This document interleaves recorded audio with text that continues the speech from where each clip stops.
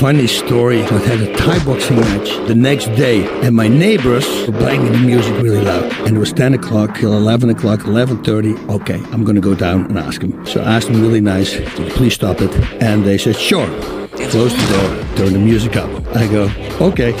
so I put on a jacket, put on a cap, and I walked out, and the guy opened up. I go, ah, what's up, party time? And I walk in, close the door, right behind the door is where the fuse box are. And I open the thing, and I just crushed, bam, the whole place goes down. Go, I warned you guys, but nobody came close. They saw in my eyes.